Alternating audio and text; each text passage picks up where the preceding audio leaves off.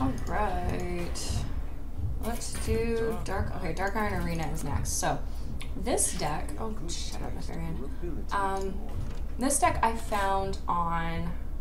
Mm, Hearthpwn. And it is. You, you, this one's kind of tricky. Um, you do kind of need a. Uh, you, you kind of do need really good luck, but basically it's a one turn kill. So, uh, for those of you who haven't done this yet, and maybe you haven't even touched regular yet, um, the dark, I'm so sorry, the Dark Iron Arena, um, the guy only plays legendaries, and so what you're banking on is for him to play Millhouse Mana Storm really, really early. Millhouse Mana Storm is a legendary. It's a 4-4, but it allows you, so he plays it, and it allows you, all of your spells cost zero the next turn. So ideally what you want to do is you want to mulligan hard for nourishes um, and innervates because you need to you want to get him out basically hopefully on turn two but nourishes are what you want wraths are also good anything that'll give you card draw um, starfires are also okay but ideally you want to do that and then what you're going to do is you're going to drop Gadgetzan you're going to drop down hopefully two forces of nature and then you're just going to buff the crap out of them because these guys all have charge and you're going to just go for the face so I'm sorry.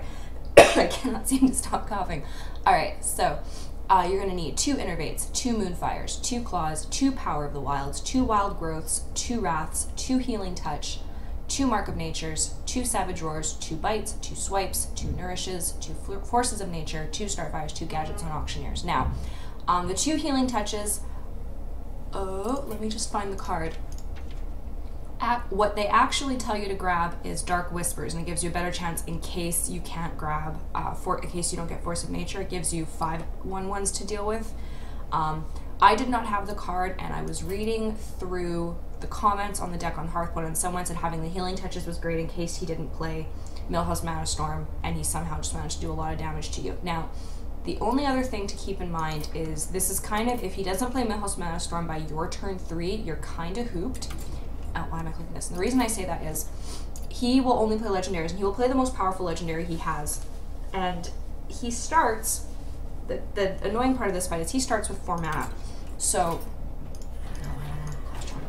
so um, he starts with four mana and so if he doesn't play him on the first two turns, he's pretty much never going to play him until it's already too late. So that's kind of my spiel about this deck, and it is very much based on RNG. It's one of these decks where you're going to probably have to try a few times. I got it on the second or third, third or fourth try. Husband, it took probably almost 10, but you will get it. It just takes a lot of finagling. So, um, I'm going to ditch all of these, because ideally I want two Nourishes in my hand. Okay, now as long as he plays as long as he plays Millhouse Mana Storm within the next, or he starts with, well, he starts with three mana, but his first turn is four.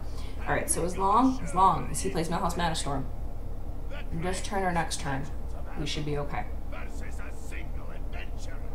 This is a great starting hand. Yes! Okay, so we're gonna draw six cards. We're gonna draw six cards this turn, and we just have to hope to high heaven that he doesn't also play Lorewalker Cho. Okay, so he's gonna play a taunt. This is excellent.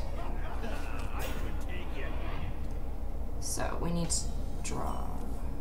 Okay, we need to play Nourish. We're gonna draw three cards. We really, really need innervates.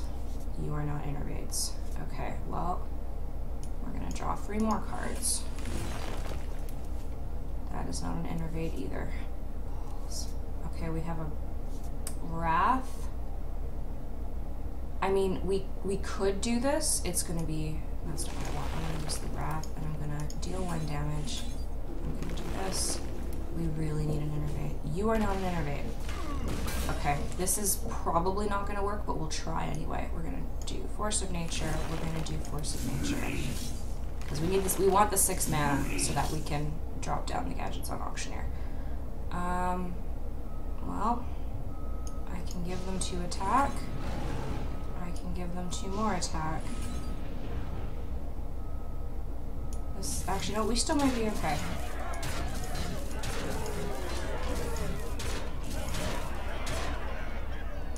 Do this. Oh yeah, we're okay. Alright. Okay, so we got it. that was really quick. Um, ideally, that that's pretty high fluke. Um, ideally, what you'll have is you'll have the Gadgetzan auction. You'll just mill for the right cards. But we actually we did okay. So that actually went way. Okay, sure, yeah, okay, that's a thing. So that's gonna be a quick video. Wow. All right, cool.